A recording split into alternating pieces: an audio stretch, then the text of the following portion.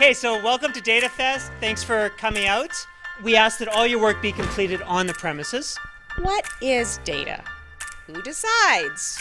So I think you guys are learning some very important skills here. You want to reflect on the kind of power that comes with learning how to work with the kinds of information taken out of the stuff of our daily life. So at all times, there should be a friendly mentor present. They gave a lot of valuable advice and life experiences. Having mentors present to guide us when we ran into issues was extremely valuable. And if they're not friendly, then tell me. So we're here to help point you in the right direction. So what you're working with could have come out of something that I did just a couple weeks ago when I was on some travel somewhere. It's cool to have Expedia come in, give you a huge data set, and then finally start applying some of the methods that you've learned for so long in class. This is an actual real application of what I've been learning in school.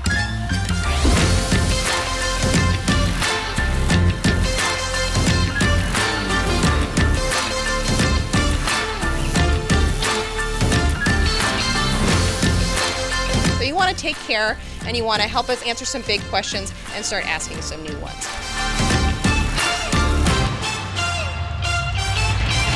In our classes, they kind of like talk about real world data is very biased, very messy, so it was kind of a nice experience to actually have hands-on access to it. We actually could see what they were talking about. You can work together and see what people's specialties are in terms of like maybe someone's better at coding, maybe someone's better at presenting, maybe someone's better uh, creatively. It's really cool when you can work with people's different personalities, and I think that really comes out in a group setting like DataFest.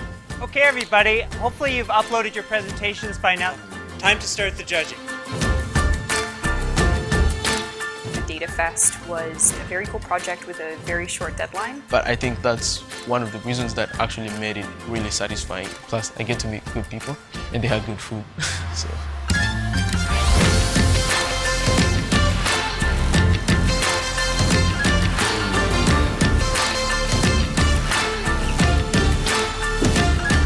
Knowing the fact that we have the tools to go into the real world and actually do the exact things that we've been doing in classes